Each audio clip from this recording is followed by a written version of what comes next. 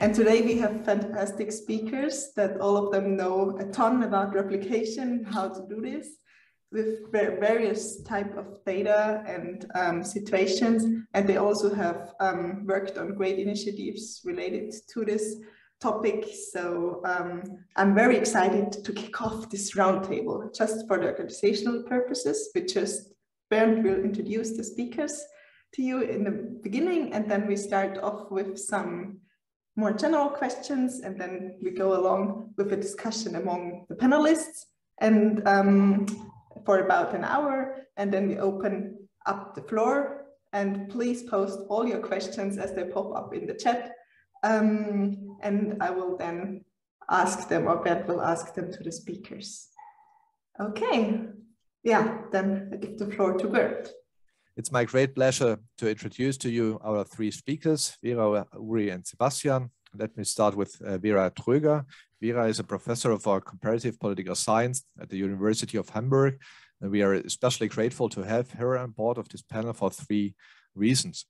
First, she was and is specifically interested in political methodology, having published widely on social science methods. And my favorite among her publications is a recent article on to P or not to P, the usefulness of P values in the Swiss Political Science Review. Second, she is also an expert when it comes to teaching and distributing methodological knowledge. As she has previously been a professor of quantitative political economy at Warwick University and a director of the Essex Summer School in Social Science Data Analysis. And finally, as the former editor-in-chief of the methods-driven journal Political Science Research and Methods, PSRM, and as the current editor-in-chief of the Journal of Politics, one of the most well-known journals in political science, she, in my view, not only has the expertise and knowledge, but also potentially the power to change replication policies in the field of political science.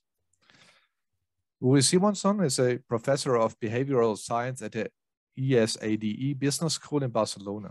And besides in the behavioral topics he is interested in, he has published widely in the field of replication and replicability of quantitative data on meta-analysis and on B-registration and open science more generally. In addition, he's the co-editor of a blog called Data Colada. And this blog sets out to think about evidence and vice versa. And it has, beyond many other interesting things, a focus on replication on, of current and not so current articles. Maybe one of the most noteworthy failed replications posted on Data Colada indicated that a paper co-authored by one of the great figures of social psychology, Dan Ariely, actually fabricated data. As this has surely raised some debate in the field of social psychology and social sciences more generally, it will be especially interesting to hear from him his insights of the pros and cons of doing and publishing replication results. Finally, Last but surely not least, Sebastian Karcher is a research assistant professor and even more importantly, an associate director of the qualitative data repository at Syracuse University. We are very happy to have Sebastian on board because not only he participates despite the fact that it's currently 6 a.m. in his time zone. So, uh, you know, heads on that. He has published widely on replication and replicability when it comes to qualitative data. And this is something that, in my view, is often overlooked in the debate on replication policies. In addition, Sebastian is an active contributor to several scholarly open source projects, including Zotero and its Citation Style language, and has taught widely on digital technology and data management. As our other speakers, hence, he is also an expert in the field of research transparency and replication policies. And so, needless to say, we are very happy to have the three of you on board, and we are very looking forward to the roundtable. Thanks from my side. Back to Lisa. Yeah, thanks, Bernd. And yeah, I'm truly excited to have all three of you here as panelists. Um, to kick off this discussion, I wanted to know from you, um, how would you define replication, replicability? I know all of you have spent thoughts in various publications on that subject. Um, maybe we could start off with Uri, who has a precise paper actually on that on that topic. Uh, sure. Uh, thanks for inviting me. It's great to be here. And I should start saying I'm, I'm not a political scientist, so I, I, I, I read every once in a while some political science papers, but I'm an outsider to this community. Uh, in terms of replic, and, and then also in terms of qualitative research, and I know very little, so I, I look forward to learn. And I'm, I was thinking we probably have neglected to think enough about that as we've done work over the last 10 years in these issues. It's, it's just a little foreign to us, so we just haven't been sufficiently attuned. So in terms of replication, um, how I think of it is, first, loosely speaking, the idea that if if you in make it, drawing a distinction between reproducibility and replicability, two terms are sometimes defined in opposite ways. So I think of reproducibility as obtaining the same results with the same data, and replicability is obtaining the same results with new data. That's that's, that's, that's a loose sense. So it's very serious when, when you have low reproducibility, meaning when you obtain the data the authors used and somehow there's an error in their code or, or something of that nature and just simply cannot reproduce what's in the paper. Um, but then, and replicability would be, you seek out, uh, in that paper that you mentioned, uh, that I, I, wrote about replicability, it's, it, the idea is how to test if a study has failed to replicate, what, what statistical standard could we use for that? And uh, one of my favorite parts of the paper got cut out at some point in the review process, which was the interaction motivating it. And, and it, said something like, nobody really cares what happens in a, in a psychology experiment. It's, it's intrinsically uninteresting, right? Because you, you have 50 undergraduates making an inconsequential decision. The, the only reason the only reason you care about that study is that you think it will replicate in some other setting. Without replicability, that study has no value. And that, that sort of idea to me is it's it's less true in other contexts, like if you, if you study if you study an election, for example, maybe replicability is it, there's not there's a historical value to that fact on itself in a way that a 19-year-old Ohio State psych major making you know choosing Coke or Pepsi does not. But to me, it's the the corners of generating knowledge from a scientific perspective is that you can replicate it elsewhere. That's thanks. Vera, what is your take on this? Yes, um, thank you for inviting me for organizing this. Um, so nice to meet you guys, Sebastian, Uri. Um, yeah, uh, first of all, Bernd, I wish I had the power, right?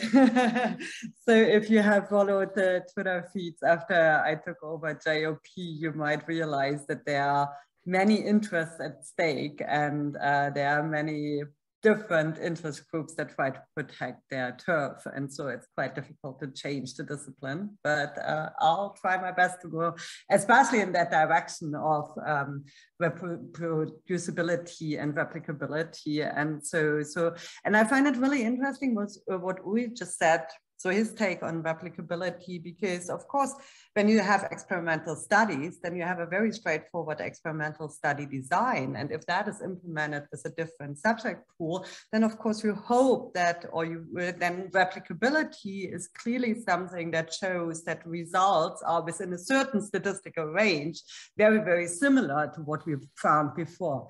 So when you come from kind of a more observational uh, side of uh, empirical analysis, where, for example, I uh, come from, and also many, many uh, papers that are published in PSRM and in the JOP are actually uh, coming from, then really the question is what is replicability other than just being able to reproduce the same results with the data provided by the authors or the researchers and the code they are providing, right? And unfortunately, this is exactly the only thing that journals do at the moment that they can do at the moment because it's of course also a question of resources, right? But also standards. So um, this is what journals do in terms of replicability. Authors provide their data sets and their replication code, and then we have an analyst who goes through this and hopefully can reproduce exactly the same results as are presented in the article that we want to publish. So this is kind of the minimalist view in my uh, in an observational sense of replicability. Of course, um, I wish that replicability actually meant to most of us what I would call robustness, right? Because of course, what we what we know and what we see is that um, that uh, of course uh, researchers when they uh, when they publish data they have uh, they have to make many many choices, right? Um, they uh, um, you have to take into account that they have to take many decisions um, about estimation, right? What kind of estimation to use, what kind of procedures to use, and of course also a specification of their data models. And, and so when you read empirical studies, then you, it usually reads like um, that uh, the presented empirical specification is the only plausible one, right? And we know that this is not the case, right? And so, of course, robustness checks assume that alternative specifications uh, are not less plausible, right? And then we test whether results and conclusions hold using alternative specifications. The problem here, of course, is that um, we have come to this, uh, this position, this step that many, many empirical papers present a lot of sensitivity and robustness uh, uh analysis, right?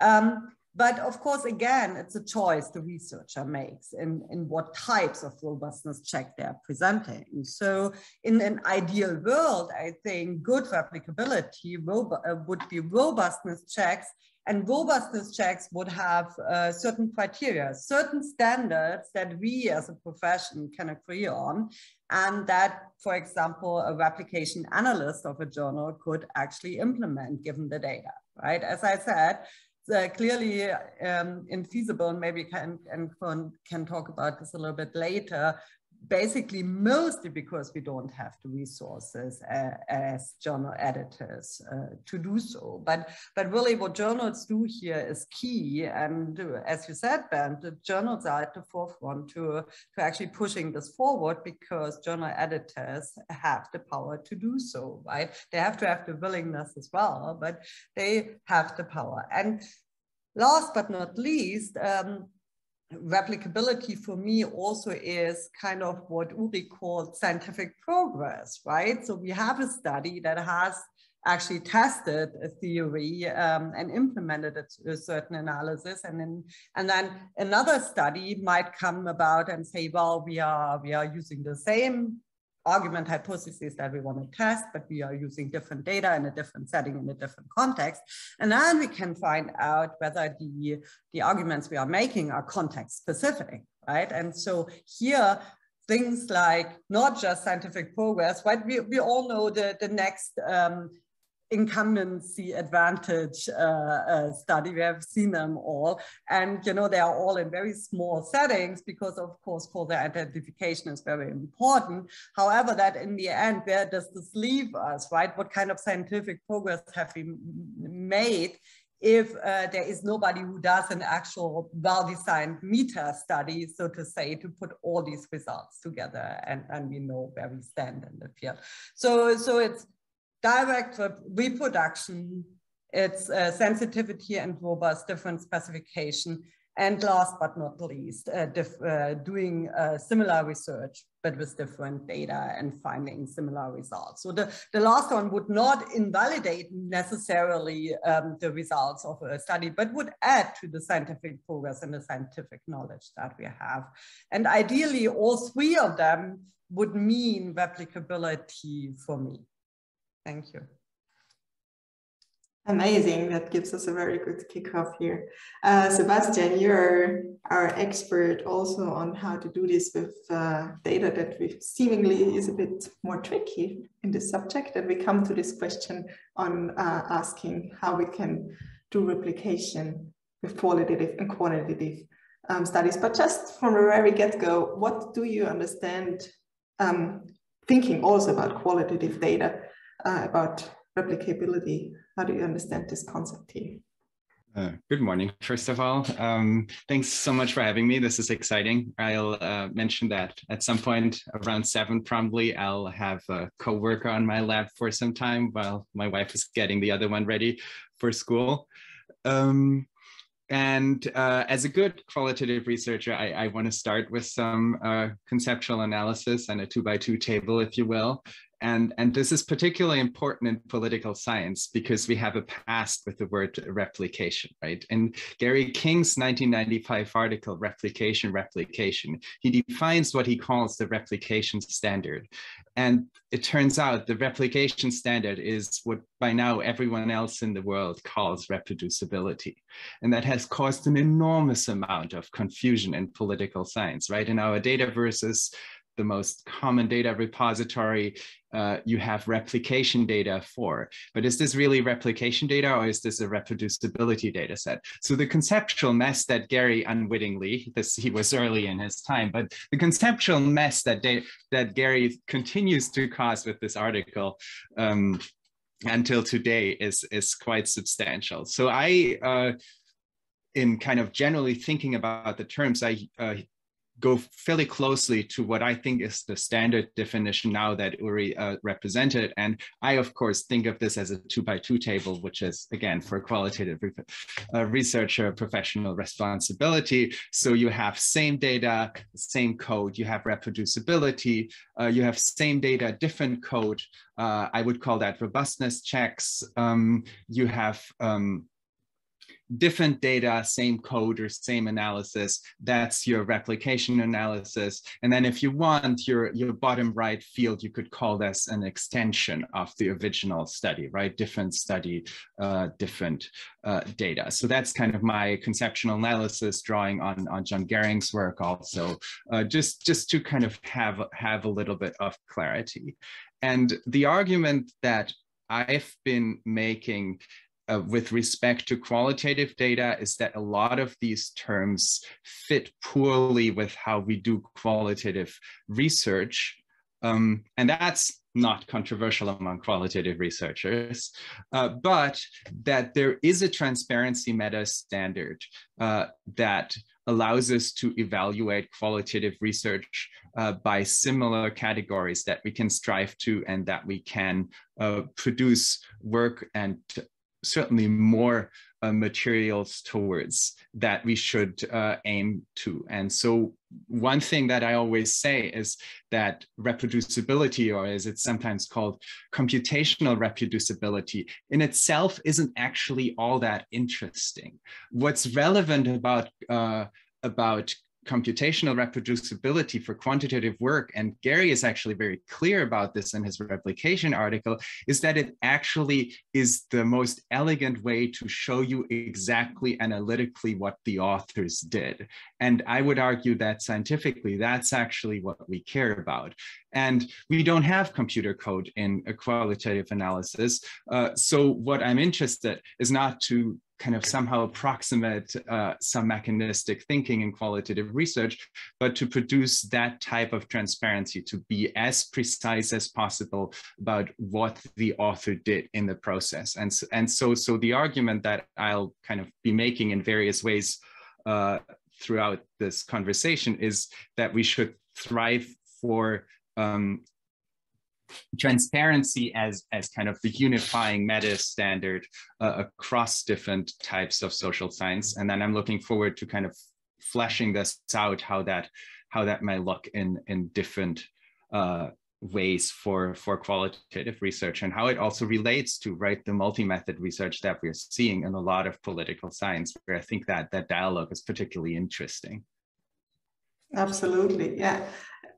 Before we move on to this more in-depth discussion between qualitative and quantitative standards and maybe what standards you would define uh, on all of this, maybe we could um, switch in a more normative question. So how would you see replicability in terms, so what is the relationship between replicability and credibility? Um, where, where is the where is the line here and how is this how is this relationship how can we describe this relationship here? Um, Mara, do you want to start? Yes, thank you. Sure, sure. I'm happy to. So I'm also looking very much forward to uh, to uh, hear more, uh, more, what Sebastian has to say about qualitative uh, replicability, and maybe we can talk also later because I know that HAPS is drawing on your expertise as well for, and uh, and JOP has not doesn't have a policy yet. So or we we try to flesh out a policy and uh, we'll be getting there. But yes, um, replicability and credibility. Uh, I think this is a super important uh, question. We have the credibility crisis in the social sciences, right? And so, so the question is what type of credibility we are talking about. And I think these are related. So the credibility of the empirical results that we are producing. And this, of course, directly leads to a question about the credibility or reputation of our profession, right?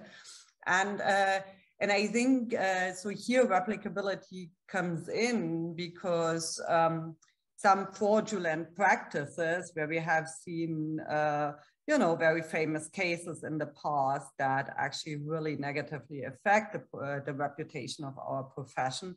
And replicability comes in as one step towards trying to close the loopholes of potential uh, fraudulent um, research practices. And um, and the problem here is, of course, that um, that academic fraud is a little bit like doping, right? So, uh, of course, it provides you with means to get ahead, and uh, the uh, researchers who do honest work suffer both personally as well as uh, as a profession, right? So personally, in the sense that, of course, who uh, you know, if you take the easy way, potentially you might be able to publish um, more and therefore um, get better jobs and so on. So you might actually suffer personally. And I'm not saying that this is standard, right? um, uh, or actually uh, professionally the whole profession because reputation suffers of the whole profession and that is really really important because this has implications for um, the kind of resources we can receive from uh, political decision makers and so on right if they see that at the tip of the iceberg uh, that we produce fraudulent uh, uh, results, then of course, why would any taxpayer want to invest in research? And I think this is one of the bigger and more political questions that, that we are facing. Um, but yes, so rep replicability is kind of one step towards uh, closing this loophole in all the different versions that we have just talked about, right? Sebastian really characterized this very well as this two by two matrix. And, and um, but, but because uh, the problem here is really that uh, fraudulent behavior in academia is much more subtle than the, you know, well-known LaCour case, for example, because it is really um, more like um, selective choice of cases that we can actually engage in or filling missing values at will, leaving out subjects from uh, experiments that do not fit our, uh, right, our, uh, so for example, in medical research, uh, we have seen this uh, before, or just strategic choice of estimation procedures, model specification, or you know um, adapting research questions to uh, adapting research questions and hypotheses to um, to the results that we are receiving. And of course p hacking and uh, things like that that we are seeing. And so the problem here um, the pure re reproduction of uh, of, uh, of uh, results will not solve that problem right? And so this does not help to detect these subtle forms of um, of potential fraudulent uh, behavior. And so, of course, there's a combination of things that need to be done um, so that we can actually exert academic self-control, right? So the trust is good, but control is better. And academic self-control is really the thing that needs to be done here. And so there's a, there's a whole host of things uh, that uh, relate to this. So I'm just saying pre-registration, pre-registered reports, publication of, of null results, um, uh, publication of uh, data, even though we might talk about this, uh, this might have limitations when you have personalized data and um, sensitive data and so on, replication, but also verification of formal proofs and formal work. Um, and then of course, robustness and sensitivity checks and, uh, and, and um, and again, this brings me back to resources, resources, resources, and we might talk about this also a little bit more, but I think, yeah, so replicability is, is closely related to credibility, but it is just one part of a whole package that will lead us to um, producing more credible results and therefore being as a profession credible to the outside. Amazing. Um, Uri, you have a very, you developed um, a very cool tool, P-Curve. Um, maybe you could talk about this a bit in this, in the context of this question. How can this help us to make our discipline more credible? Uh, sure. So let, let me, I'll, I'll, answer first the, the, original question and then I'll, I'll, I'll talk about P-Curve. So because you had, you had in, in the questions as was sent to us, it was like what the causal relationship, I think it was between credibility and replication. So thinking about that, and I'm not usually Bayesian in, in my statistical preference, but I was I was thinking of a Bayesian argument, which is how, how do you update when you when something fails to, to replicate? And if, if the research is credible, then you update about the world. You, you say, oh, I guess this is not a general phenomenon, or maybe there's an interesting moderator here, or maybe things have changed and it used to be true, but it's not true anymore.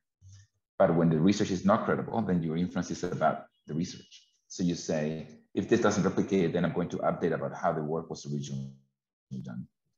And so I think in, in an environment where research is credible, we we update differently in, in light of replication. So a failure to replicate is not bad news. If the original is credible, it can be very, and I think this was touched upon earlier. I forget if it was uh, Vera Sebastian who was make, making a similar point that you, you may learn that um, this doesn't generalize to this population or, or this is no longer true. But that kind of inference requires trust in the original, in the original finding. Now, in terms of, uh, of P-Curve, it's a tool we, we developed some years ago. And it can be used to, as a sort of a shortcut to assessing the credibility of, of, of a variety of findings. It's, it's, it's in a spirit of meta-analysis. You could even argue it is meta-analysis, depends how you think of it, of how you define meta-analysis. But basically, you can take any set of any set of studies that have been evaluated through statistical significance, where the p-value is a key target for the researcher, and ask whether, as a whole, this literature is sort of significant, as a, taking into account selective reporting. So it, it takes into account the file drawer, meaning that you only see things if they're significant. And it takes into account p-hacking, which is you only see the analysis that are significant. So you can take a literature with 20 findings and submit them to the to P-Curve analysis, which is it simply analyzes the distribution of p-values that are published. And, and you can learn that actually as a whole, they don't, they don't have evidence against the null, they don't support the existing Gordon effect. And uh, the, it was somewhat controversial. It was quite controversial when, when we first started working on it because people saw it as, as going after going after researchers. And certainly some people have used that tool or similar tools to do exactly that. But it has a lot of uses that are, are less sort of vigilante justice in spirit. So one of my favorite uses is uh, to be a researcher and they have a finding and the finding contradicts uh, some literature. So the, the, the, journal pushes back and says, well, you have to explain. You have to explain why you get A and they get not A. And going back to the study of credibility, if, if you and, and the, this, this first use was suggested as, and it was done by a friend of mine. Uh, he P-curved that literature and said, well, that, that literature as a whole does not have evidential value. So it's not really on me to explain why my finding contradicts it because my finding does have evidential value and the other one does not. So it's not, he didn't, use, that didn't, didn't even make it to the paper. It just was part of the argumentation with the review process of why this new fact that seemed to contradict prior facts uh, was admissible or didn't require further justification. That neatly outlines the, the process and maybe how it should not look like sometimes. Thanks so much.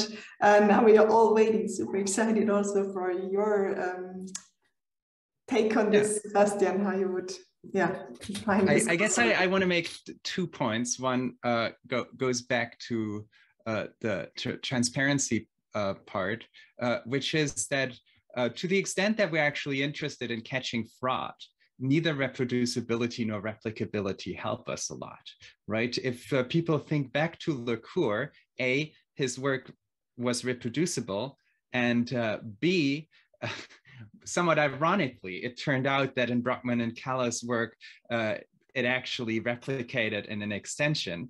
So it passed both of those um, both of those markers, yet it was um, fraudulent. And the reason that was possible for Broockman Kalla to find out was, of course, transparency, right? Um, it was a the data was ability so they could do the type of detective work detective work that Uri and his team at Data Colada are also well known for um, uh, and then they uh, went further and kind of got additional information. And that often matters, right? Providing additional information, say, which survey firm did you use was, I, was, I think, the, the kind of the thing that uh, got LaCour to fall. Um, and, and, so by providing those additional transparency bits of information, to the extent that we're interested in catching fraud, that's what helps us. I don't think this is the interesting debate. There will be fraud. It will be hard to catch. We'll hopefully catch some of it, but but I don't really want to be part of a social science that's principally interested in catching fraud. And that's not, you know, uh, to say that work like Broockman, Kalla's, or Uri's in catching cases of fraud isn't isn't important. But I don't think that should be our day-to-day focus in, in how we do um, work. Uh, so, so moving on to replication, I think qualitative researchers tend to be quite comfortable with work not replicating in the closed sense. So if I got to find something different to in a related study to you, I don't actually necessarily even think that you've done something wrong.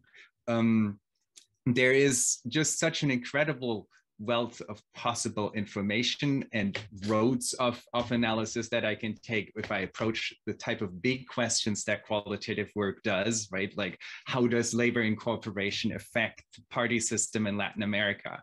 Like big question. 2000 ways i can analyze this. There's going to be different outcomes depending on uh, even what variables i look at what time frames i look at etc so i'm generally quite comfortable with that. There's also of course and that's something that's perhaps even more unique to qualitative work, uh, a much stronger focus on positionality. And that's especially uh, for interpret interpretive work where the researcher directly interacts with their environment. And so think ethnography as perhaps the most popular form of that in political science, where I spent um, right a year two years three years deeply embedded in interacting uh, with a community uh, who I am as a person in various, various ways obviously hugely matters um, about the types of things that I find in that type of research. And so if I, as a German, white, cis, etc., person go into a community, that will be very different than um, someone who is, say, a black woman going into the same uh, community and interacting uh, with them. And so I don't, I don't expect that to uh, replicate. And I don't think that's a problem for the credibility of qualitative research, as long as you're uh, transparent and in the and ethnographers have been quite good about being transparent about uh, and reflective about the role that their positionality plays in uh, shaping their research. So in that sense, I think uh, less important for credibility. But um, I do think we have to get it right. And some, I, I, I, do think, and there I diverge from some parts of qualitative research, but I don't think most political science qualitative researchers. There are some facts about the world that that um, maybe socially constructed, but exists in a kind of tangible uh, way. And, and we want to if we want to talk to each other about research, we need to get these right. And, and so there is uh, book that caused quite a stir in ethnography circles, uh, 19, uh, uh, 2017 book by a law professor, Steven Lubet, who looked at prominent ethnographic works uh, and kind of did fact checking on them essentially. And uh, some did quite well and some did quite poorly.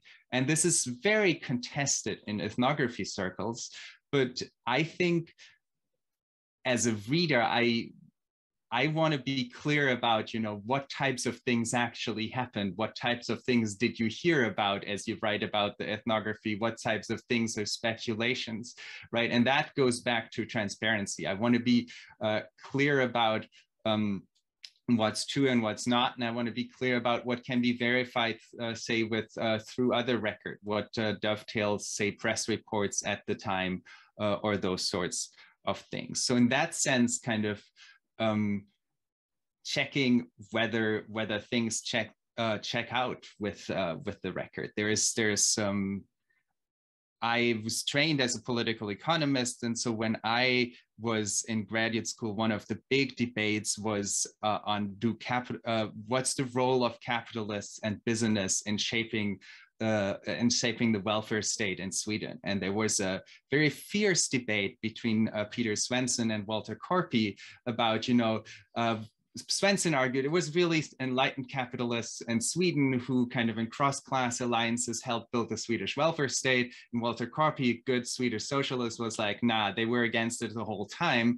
Uh, and it was just the forcefulness of the Swedish labor movement uh, who uh, made the welfare state. But what it boiled down to was who had the right reading of the uh, of the archival records that they looked at. And, and so I don't think anyone ever did that. There are some examples where people did, uh, but I think replication in that sense is, you know, going deeper into the archive and uh, looking more closely at the archival evidence, probably still going to have an interpretive um, debate there, but but I do think there are there are you know standards for archival methods, so there there is a right to be had there. And then going long. But the last thing that I want to say, kind of going back to transparency, and this is something that I'm borrowing from, from uh, Arthur Lupia in terms of credibility. His point is that what makes us as social scientists different from other people who claim to create knowledge, journalists, pundits, etc., is that we have uh, structured, well-established and public rules that we follow in how we obtain knowledge. And that's what makes transparency so crucial to that. So the reason why what we do is more credible than uh, what uh, David Brooks writes in the New York Times is not that we're smarter than David, but is that as a community, we agree on, on a set of rules uh, that we follow in a way that other people can check on. And that makes us vulnerable to criticism and that also makes us more credible.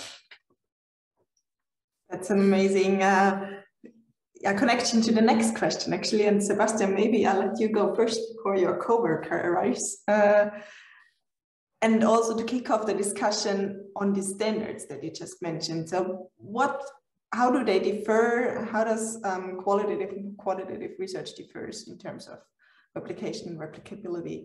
And maybe we focus also on transparency because that uh, seems to be our ultimate goal here. Um, yeah, so uh, a couple of ideas, and I kind of want to explore them rather than kind of try to give give you the the truth here. But uh, one thing is that it depends on what qualitative research, right?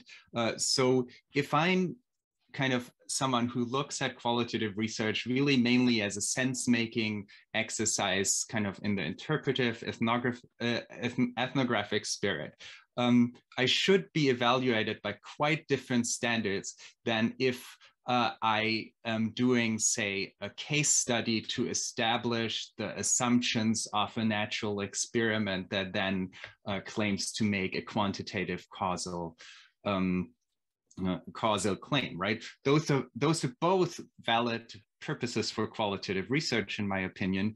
Uh, but one should be evaluated by standards that I think are quite similar to those of quantitative work because it's tightly integrated. It, is, it operates in the exact same epistemological work, a world, whereas the other uh, should be subject to quite different uh, standards um, in terms of how it's evaluated. So that's that's point number one. Qualitative research is incredibly diverse, and we are kind of, I would argue, fortunate in political science to have the almost entire range of, of qualitative epistemologies and approaches present in our field.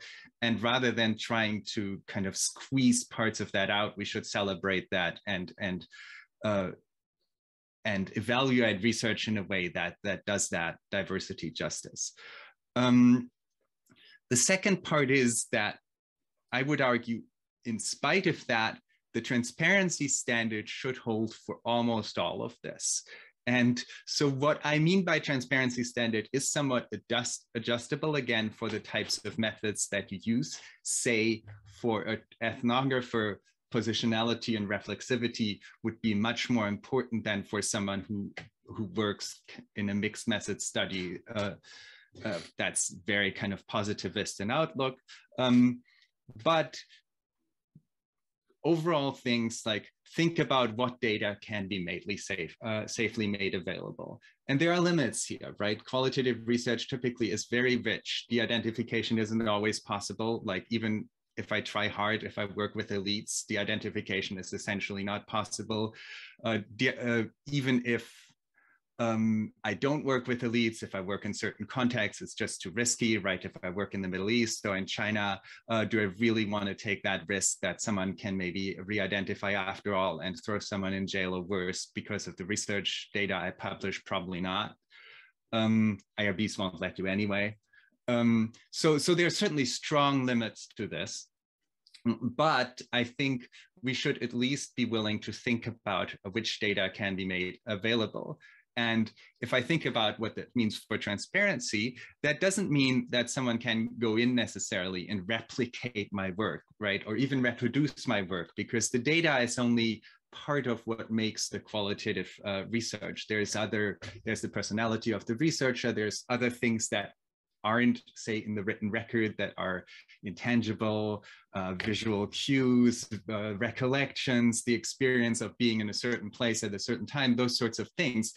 But if someone presents a certain interview quote uh, in their research and then i read the entire interview and it seems to contradict the entire sense of, of the research, or it doesn't really make sense in the context of the broader interview.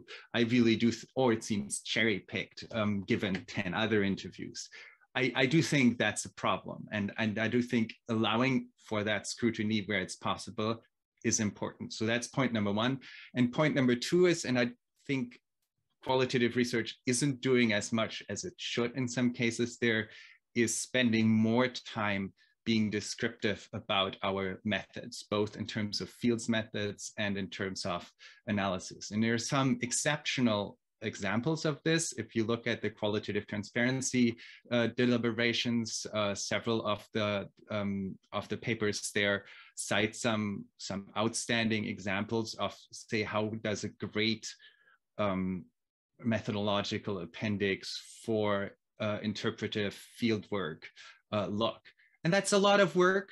And sometimes qualitative researchers complain about that and say, well, we have to do that, quantitative researchers don't. I think quantitative researchers do too. And when I see experimentalists with their 200 pages methodological appendices, I think essentially we need to do this too, but we're not at a point where we have good standards. So everyone is kind of making this up as they go. And I think that's one area where there's really room for advancements. They won't always look the same. Again, diverse field. So ethnographic appendix will look very different from another one, and that's fine.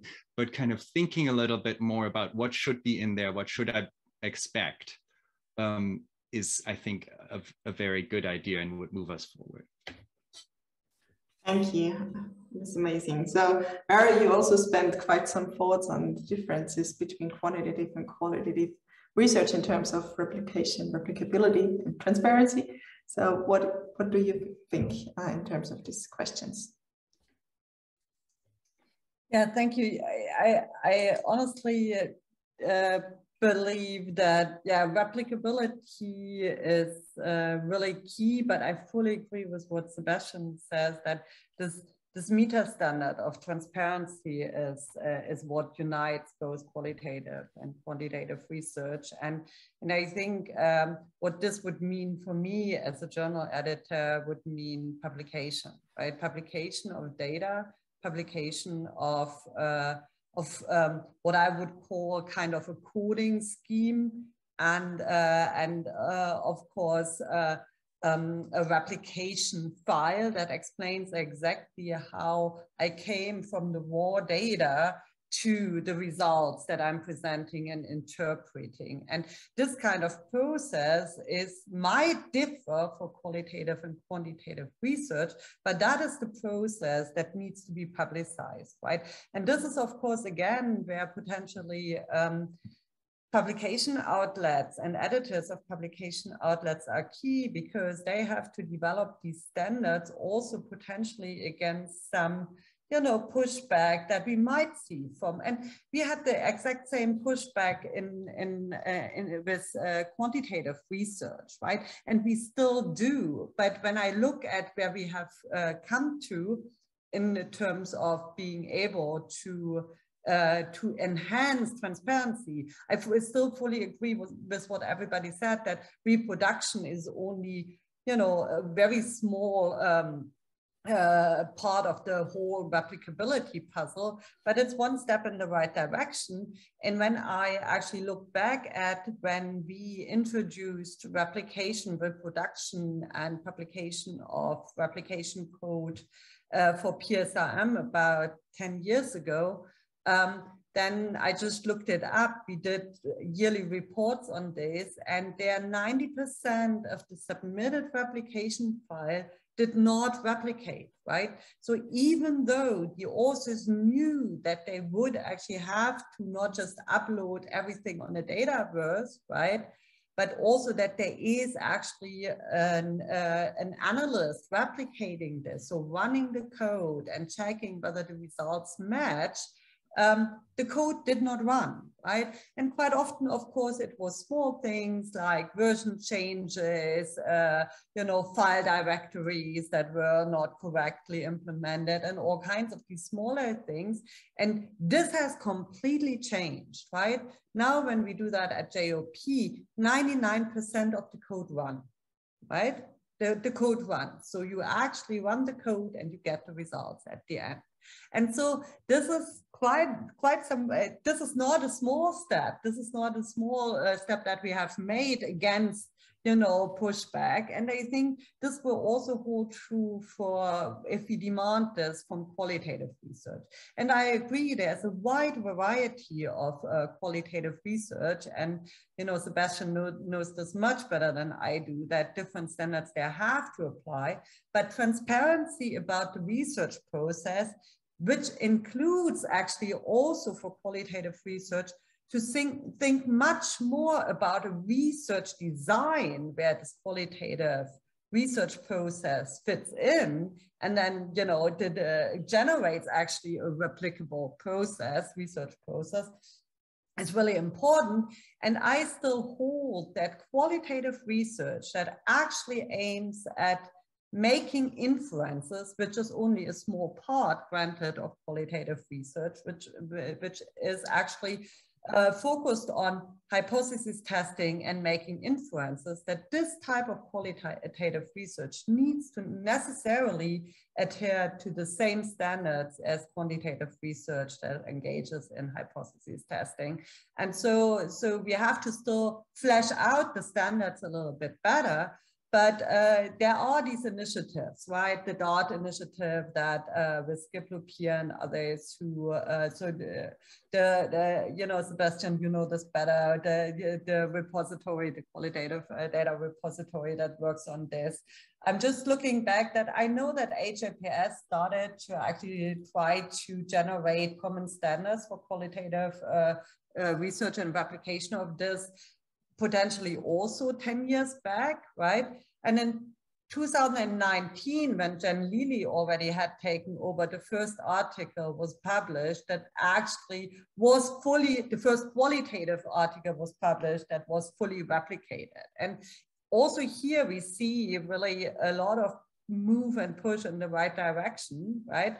But I completely agree that it is a little bit more difficult to uh, actually formulate those common standards for, uh, for qualitative research, especially this qualitative research that is more ethnographic, that is more um, hypothesis generating and theory generating on the more inductive side of things and not on the uh, deductive side of things. Um, however, what really the transparency aspect of things and the publication of uh, data generation and interpretation processes is, uh, is, is key to generate this replicability and the awareness in the whole profession that this is a good thing, right? It's not, it's not, okay, it generates a little bit of uh, more work, but also it's collectively a good thing because it enhances the credibility again of the results we are producing and therefore of the profession as a scientific way of uh, generating knowledge.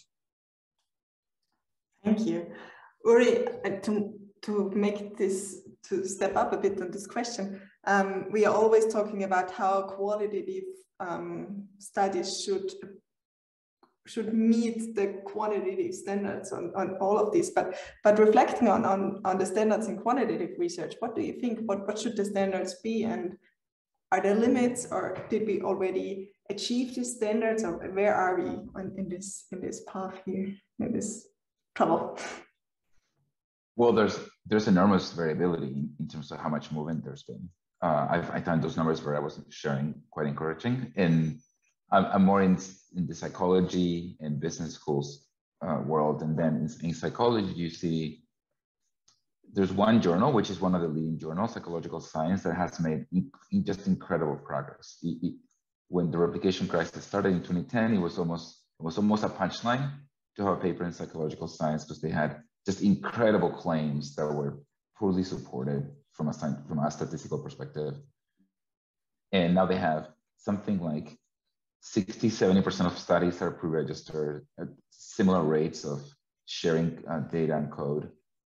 And just um, an openness to publish failures to replicate, and an openness to publish um, studies with a methodological contribution within an existing paradigm that simply makes the existing claims that were not justified, but now they're justified with the right analysis. Just sort of from a, a reformer's perspective, ideal. But there are other journals. For example, within the business world, marketing tends to be closer to, to my interests uh, from the research perspective. And there you've seen very little movement in terms of how things have changed. So it's, and I think part of the reason is it's it's very much um, a movement, even though it's a it's a grassroots movement, it really requires somebody with power to take on uh, their peers. Like for example, in, psych psychological science case, we happened, so we, so I've done all this work with Leif Nelson and Joe Simmons, and we had written a paper starting our interest in this field.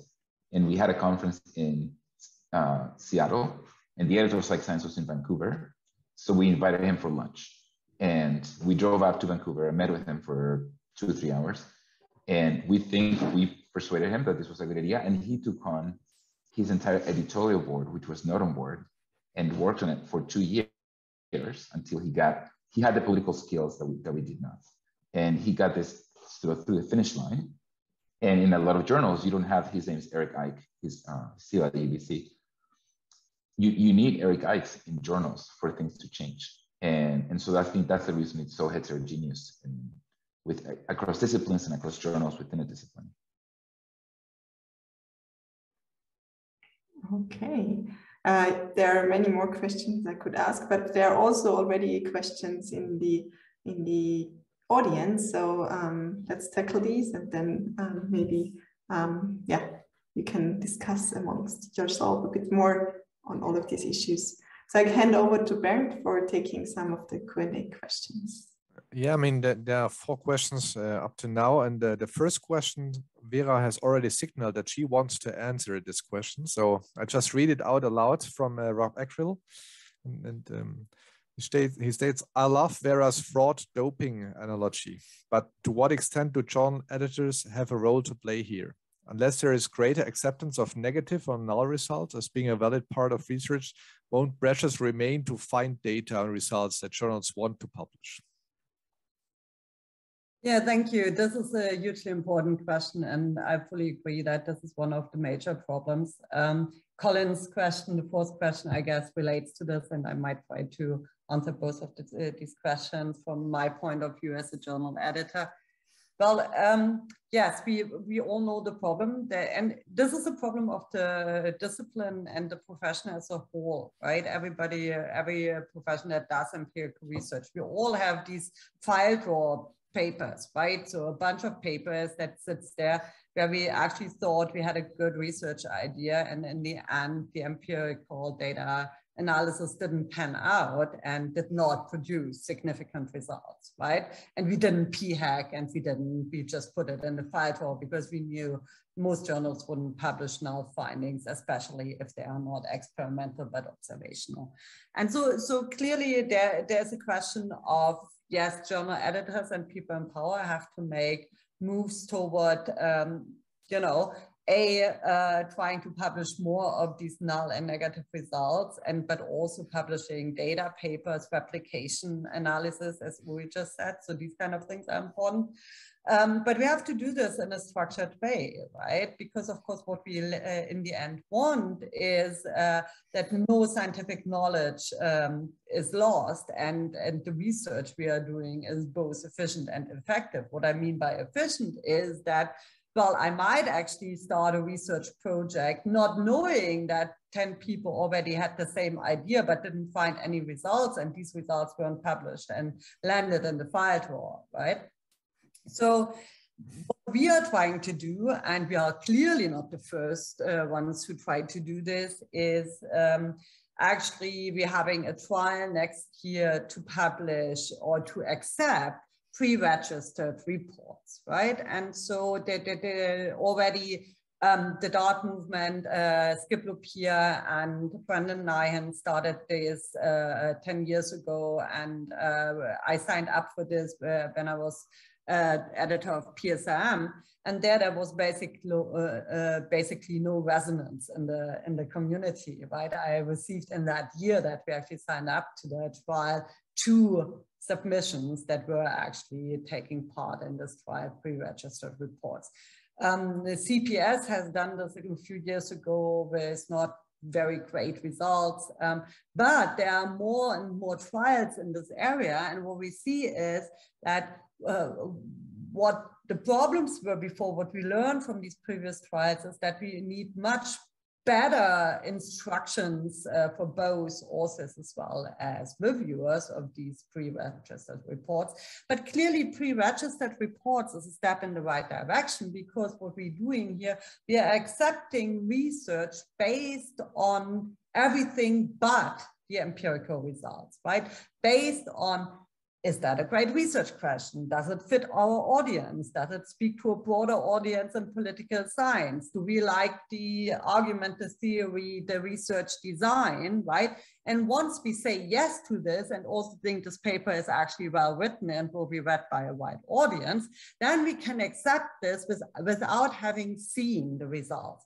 And then of course, then uh, this really links back to what Uri said before. Then, of course, based on these type of results, even though there might be null results, we are not making inferences about the research design, the p-hacking or whatever, but we are making inferences about the world around us, right? So even if you find null results in these pre-registered reports in an ideal world, we learn from this and will change potentially our arguments, our theories, and then put this to the test again. And so, so this is one very structured move in a direction of being able to credibly publish null and negative results. And uh, this is what we are doing next year. I hope a lot of you will actually submit pre-registered reports. I, again, I know this is just a very small step in the direction of publishing null results because it is focusing on a certain type of empirical research, basically everything that has to do in some way with experiments, right? Experimental research um, that have an experimental design, vignettes, surveys, and so on. Um, of course, we need to move forward and also think about how we can do similar things with observational studies. The problem is, of course, the one criterion that is important uh, when we accept this type of research is that the researcher cannot have their hands on the data before they submit uh, their research design.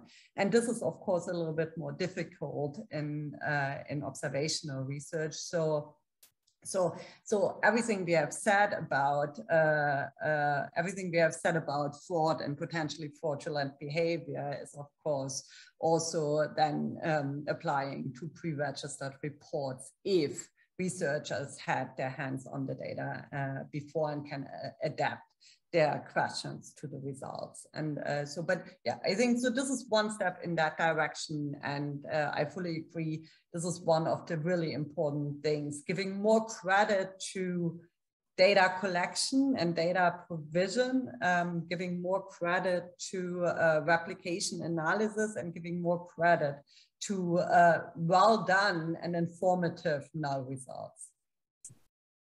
Thank you. Thanks a lot. Um, we we have other questions more regarding to Sebastian. Sebastian also agreed to answer them. Uh, the first question is about um, your statement, Sebastian, that you have uh, been asking for being more descriptive about the, the qualitative methods. Um, however, uh, Regina Weber sees problems with the 8,000 words limit of uh, papers in most journals. So um, there, there seems to be always a problem with the length in qualitative papers. And I think uh, Regina says that it's a structural problem, given that we need more space to present, for example, interview quotes. How, how should we tackle this in the future? Um, yeah, so so I it's seven o'clock. I've been up for an hour, so now I'm gonna start being controversial. Um, uh, so so if you are a journal and you want cutting edge qualitative work and you write eight thousand uh, words as your word limit, you're signaling to qualitative researchers that they're not welcome. Uh, cutting edge qualitative work does not happen in 8,000 words. Um, we can't have, you know, if we want to write small books, which we all can, uh, journal isn't a good place, but you can, there's a very clear and not coincidental correlation with between journals that allow 10 to 12,000 words and journals uh, that publish uh, the best qualitative research. You don't print that much anymore. Most of it happens electronically. A couple thousand extra words uh, won't hurt you. You want great qualitative research, give qualitative researchers the space they need. Uh, to, to do that. That said, uh, I think part of the methodological part needs to happen uh, outside the article uh, itself, right? Just the way it does for, uh, for quantitative uh, work.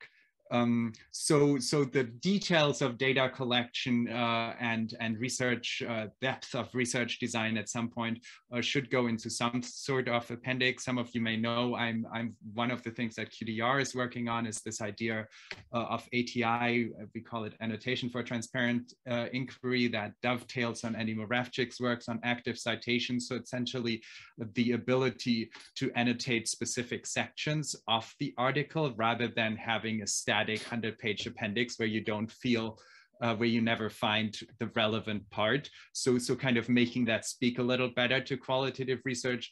Um, but that still means, right, as Regina rightly points out, uh, writing a couple of informative quotes uh, that give you sense of the interviews takes more space, it takes more work. And, and if you want that type of work, um, you need to allow the space for it. And to go on with that, right, Vera mentioned rightly that AJPS has some guidelines for qualitative uh, replication, and it took 10 years uh, for them to be used. And that's not a coincidence because AJPS doesn't get a lot of quantitative work, neither does JOP.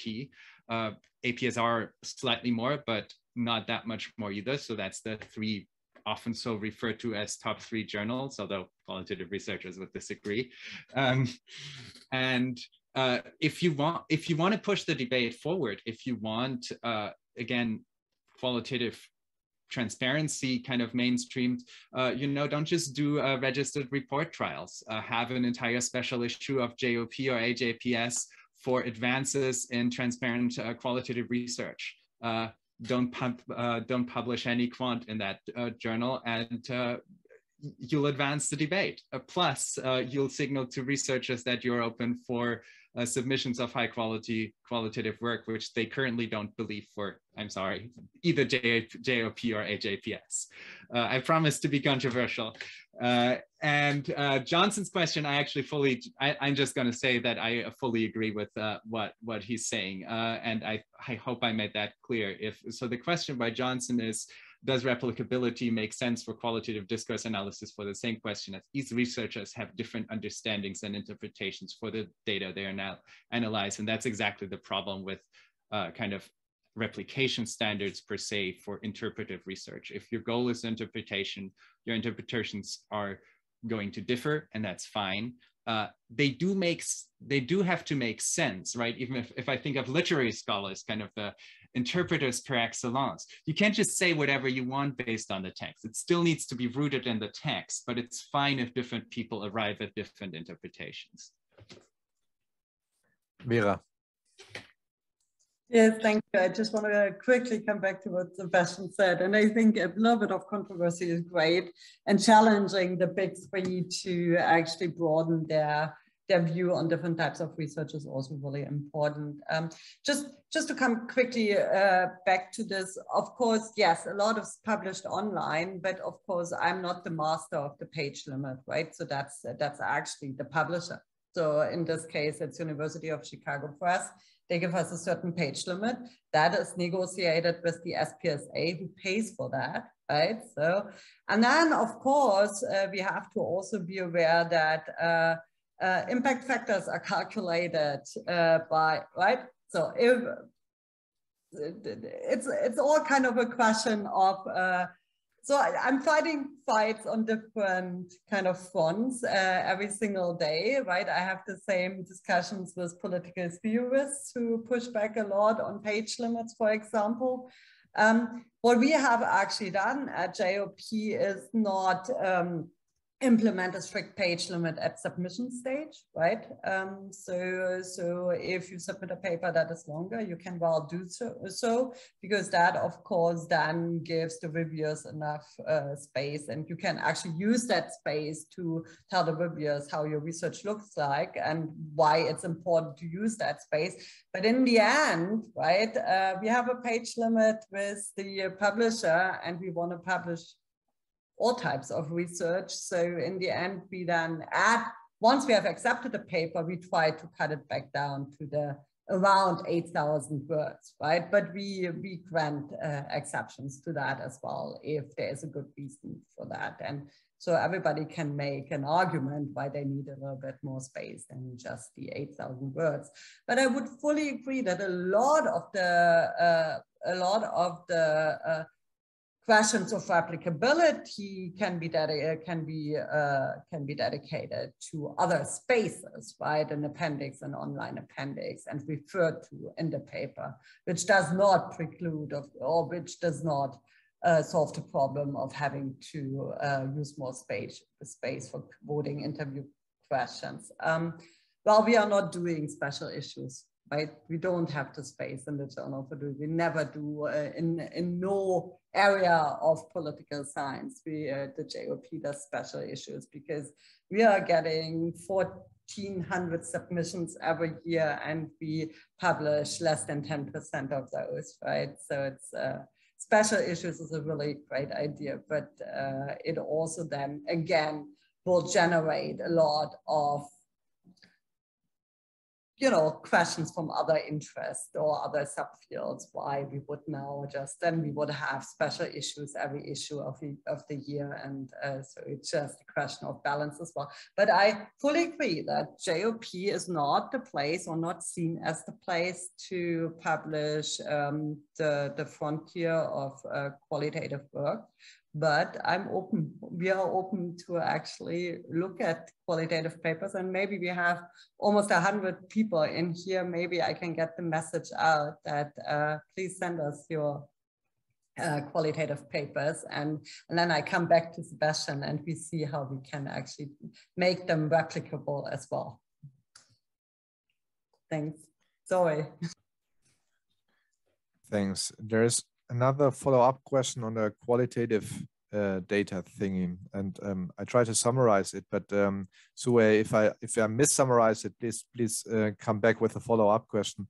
But the, the main thing seem, seems to be that the more qualitative researchers are open about their data, the, the more they open up the raw data, the more they they get into problems of anonymity and you know you know, as you mentioned already, Sebastian, you know, will open up their sources, will make their sources identifiable. So, especially in, in, you know, autocratic contexts, this seems to be a, a, big problem. So, how to deal with that? Maybe also from a editor side, how to protect the sources on the one side and how to guarantee transparency of research on the other side. So, is there a, you know, a balance which we can ha have or uh, equal weight to, to both parameters.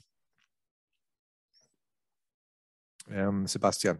Yeah, from my perspective, this is a very hard question, but I think parts of it aren't that hard, right? Parts of transparency are not raw data or not data at all, right? So, and there's actually a fair amount of consensus if you read again the qualitative transparency deliberations that what DA-RT calls production transparency uh, is important and uncontroversial for qualitative research. So writing a great appendix that outlines exactly how you collected data, how you selected uh, informants, uh, how you analyzed, got from transcript to, uh, to argument, those sorts of things, doesn't endanger anyone, does a huge amount for transparency, arguably as much, if not more, uh, than the data in some cases, depending on the article. Uh, so, so that part uh, is hard work, but doesn't pose the types of ethical issues that Sue uh, mentions. In terms of the ethical issue, uh, issues, um, for one, I think reviewers typically don't see raw data in political science. That's different in other disciplines, but uh, including for quant, uh, it's typical for, for the data to be posted on acceptance and not uh, during review. I think uh, political analysis might be the only major journal that I know of that does that differently. Um, so, so for, for the review process, that's less of an issue. Uh, but for the data on acceptance, we need to think hard about uh, how, how to do this fairly, right? Um, and generally, the current APSA position is that the author has the last word. The author is the only person in the, the right position to um, decide whether the data can be safely practiced. In general, I think that is probably right because they have the contextual knowledge, but there is, of course, some sort of moral hazard problem because if you can get out of the work of publishing the data, which it is, by just saying that can't be done, it's qualitative, it's too sensitive, that also creates the very easy out. So um, having some way to, to push back or some standards, you know, these data should really be publishable doesn't seem particularly controversial. Uh, those sorts of things would seem to be possible, but it's very tricky because you're also, of course, interacting with the regulatory framework in the US. The IRBs are governed by federal law. Uh, so uh, it's, it's, it's a very delicate place to tread. So, so requiring data submissions uh, tricky. The, the other thing to note is that data repositories, one thing that we think we are great at is protecting sensitive data by uh, by managing access requests. ICPSR, of course, for quantitative data does an amazing job with that. And we're pushing that heavily to where data are sensitive, right? Just because the data are in a repository doesn't mean everybody on the internet can just download them. And we're able to safeguard data and provide a controlled access where that's necessary. And that's absolutely commensurate with, uh, with uh, transparent research, right? As long as you know how to get to the data once you've complied with the ethical requirements, that's just as transparent as for uh, public data. Um, on the same topic, Uri, you're, you're coming from a psychological background, right? So, I mean, this must also be a topic in the psychological field of work, actually, because you also have some qualitative data and, uh, and uh, you know, data sources may be even more vulnerable than are the sources in, in political science. So is there any recommendation by the side of APA or something like that? So which we can, which we may learn of? I don't, I don't think so because it, it, there's a vague directive of not posting identifiable information, but that's not very, it's not made explicit what, what that entails. Um, so I, I co-host uh, a site that is like Dataverse. It's called ResearchBox. And one thing we do is when you upload files there, the, the server runs a bunch of checks on the data. So it reads, the, it reads the actual data file and it looks for patterns. So it will block people from uploading IP addresses, uh, phone numbers, email addresses, latitude and longitude. And it, it, will, it will tell the researcher, you know, this file contains this identified information. You can overrule the RABA so you can you can say, no, no, you made a mistake. This is a false positive. In which case, an actual person then takes a look at the file. But for the kinds of things you're talking about, like um, qualitative work, you know, with political activists, uh, that's it's not the kind of grade of privacy or you know security that we're talking about. We're we're talking about uh, you know somebody on completes a survey and, and, talks about a fight they had with their mother, and then and another in another survey you, you can start triangulating and figuring out who that person is. Um, but it, the stakes are much lower. And, and I think that's why the concern has been less severe. In fact, the, the OSF, which is another large repository of data, has hundreds of files that include IP addresses and even email addresses. And there hasn't been a, a scandal yet of, of any kind. So the, the stakes are just lower given the nature of the, of the data being collected. Yeah, maybe I can come quickly in as a as the, from the from again the editorial side. Um, of course, um, uh, I see this problem, especially with uh, qualitative uh, data, but uh, we have the same problem with quantitative data as well, right? A lot is sensitive data. We have a lot of secure lab data, for example, where you have, for example, individualized labor market data and so on, where, for example, in, in the UK, you only can go physically to a secure lab to analyze the data there. And then um, you can only take out your results tables and these results tables are checked uh, beforehand by analysts in the secure lab that uh, they do not uh, um, allow any identification of individuals. And uh, so of course, uh, somebody submits a paper using sensitive and secure lab data, then uh, we also have the exact same problem. How do we do replication, right? And uh, so up until now, what we are doing, of course, is uh, if a paper is replicated, right, it gets the stamp that it has been replicated by the JOP data analyst. Uh, analyst. And so for the sensitive data, what we do, of course, we allow people not to publish their data, right, on a Dataverse, the raw data. But of course, as Sebastian said, they have to actually publish um, the process, every step of the way, how the data was gathered. And if somebody wanted to gather the same data, they can use exactly these guides, uh, this guideline uh, to, to actually gather the same data and do the same analysis.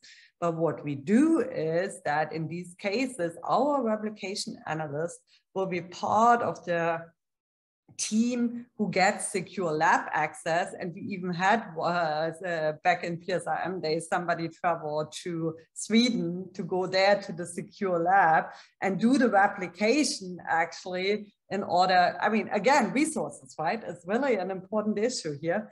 Um, uh, but this all is feasible, and that is what we are doing now. Now, most secure lab data is also available through is through VPNs and these types of things. And um, so, so here we do the same thing. Um, they have to uh, uh, basically publish the reproduction guide but uh, our data anal analyst will actually do the replication in the secure lab space. And something, I guess, something similar would be feasible in a qualitative setting, right, where only this one person is added to and why uh, assigns a non-disclosure or something like that, right? And is added to kind of the research team and be able to do to check whether data is replicable, whether results are replicable, whether you know every step of the process has been um, is transparent uh, in a qualitative research design setting as we do in a quantitative research design setting. So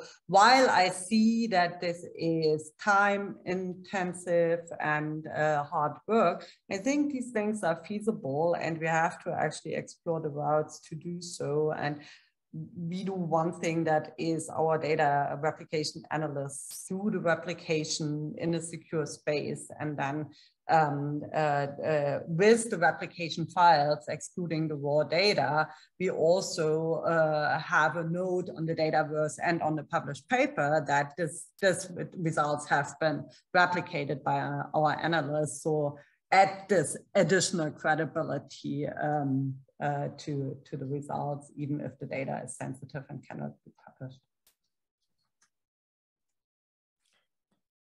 maybe I use my authority as being the one who asked the question to to submit one of my questions, and it somehow connects to a question that that Lisa and I were talking about uh, beforehand. So it's like I'm teaching a lot of methods. I'm teaching also in the method school, but I stumbled, you know, only over a few instances of courses doing replication analysis. So, in your experience, and this is this goes to all three of you so should we also increase the number of courses also already on the master's or even bachelor level who, you know, teach us how to do replication analysis? Should we you know, provide students with the knowledge of how to do reproducibility and replicability? And is this is this a good way, or do we just increase distrust among students in published findings? So is there a negative side to it, or is there a, mainly positive side to, to including uh, replication into teaching notes? I can. I sorry, yeah. yeah sorry. So, um, so I think reproducibility, so that rerunning um, same data with same code. I, I think that's how we should teach statistics really. Um, if, if you're learning regression, you should be reproducing. If you're running a logistic, if you're using cluster scenarios, whatever, you, sh you should be taking a, a, an actual paper. And then ideally the homework would be, do it with these other 30 papers. I, I think absolutely. Um, it, it, lowers one of the biggest barriers with statistics, which is to, to most people, it's just so abstract that they just cannot penetrate the concepts. For replications, I, was more skeptical of it. So I, would, for, for several years, I, would warn PhD students against doing replications because it, it, it, always has the human component where whoever fails, whoever's work fails to replicate. Um, now it's hate you and will, will say negative things about you and may hurt your career. But now there's been a few exercises where uh, the entire class, like you were describing, would be a replication. There's one that I think very exciting. My, my, my friend Leif Nelson ran at Berkeley, where they, they chose a topic. Uh, in this case, it was the, the impact of scarcity on multiple psychological phenomena. And then in groups of two or three students, each of them chose one published study in that literature, and they replicated it. And then they turned this semester long replication according to a PNAS paper. That's it's it's like a different type of meta-analysis because it's a meta-analysis of only replications. And one concern one may have is that, it, like, actually, I think you were hinting at that it may be demotivating for students, but in my experience, whether students succeed or fail, it, it just makes the research so real to them that it's actually quite motivating regardless of the outcome. So I become, I was kind of skeptical to this kind of idea before, but I've, having seen the outcomes, I'm, I'm, I'm excited about it. Thanks. Vera? Yeah, thank you. Um, I, I, kind of agree. It's part of the it's part of the research process. So when when I teach no, uh, intro to stats or specification issues or the courses I teach in quantitative methods, I always have uh, my students same thing uh, replicate and one, you know, there are always two exercises. I give them one paper with the data, with the data that uh, goes with the paper, and they have to do the replication analysis, you know, with a set of guidelines at home, and then we discuss it. And then, you know, another, not an exercise, but the exam is that they um, go out there, choose their own empirical study, uh, get the data that uh, uh, goes with the study and replicate it and write a report on it. So I, I think it's a great idea because uh, students learn a lot and students also learn that, um, that you know, even uh, big names in the profession, right? Uh, only what we, how we say in German, cook with water, right? So uh, that, that, uh, that they do analysis the same way as everybody else, and they are not uh, actually above making uh, any mistakes. And uh, so I think it's a good exercise also to see that um, that the research process is sometimes a bit messy. It's a bit, uh, you know, can be riddled by uh, errors and mistakes. And uh, still in the end, we get results that make sense and are interpretable. So yeah, I think replication helps a lot with understanding the research process. So I think it's a great way for students to learn about, not just about statistics, but about research in uh, general. Thanks. I first asked the quants and, and now I'm asking asking the qual because you know replicating quant stuff is easier to, to teach than probably replicating qual stuff. So Sebastian, your opinion would be much yeah, appreciated. So so we are actually very interested in that and there's various ways in which you can go about doing this. So one thing that that uh, Colin Elman, my uh, my boss at QDR, uh, and also Andrew Moravcsik do is they pick high quality uh, qualitative papers that have data that are obtainable. So public uh, documents, secondary sources, those sorts of things. And uh, essentially half students go through all the original sources um, and hunt them down and see if they, if, if the author's um, uh, claims are tenable. We, we like to call this verification. It's not reproducibility per se, but you kind of check, does it make sense? That's actually what we do for AJPS when they ask us to, uh, to do reproducibility checks uh, on a paper. And uh, that's a fair amount of work. I would like you need to you need to have a very good undergraduate class uh, with a fair amount of time to do that type of work. I think you should probably do it in a in if you have a dedicated uh, graduate qualitative method class. I think you probably should do this. Um, so so that's number one. The other thing is that uh, if you teach kind of more coding related qualitative uh, research, that's more common outside of political science, but we see some of this in political science, you should absolutely have students uh, code and potentially even recode data that has been used uh, in articles. And uh, instructors are doing this uh, not enough, I think, and we're pushing on both fronts. We're very interested in that. Thanks a lot. Looking at the time, Lisa, I'm getting back to you maybe.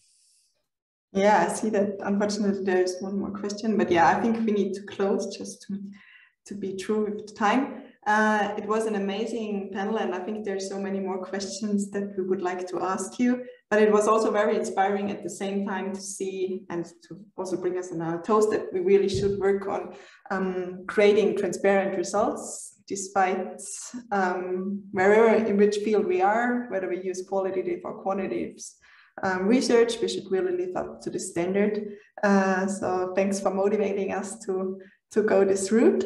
Um, thanks also to the audience and to the great questions. Uh, it was a very enjoyable uh, lunch break for us and hopefully Sebastian, for you, a very enjoyable early morning. Thank you.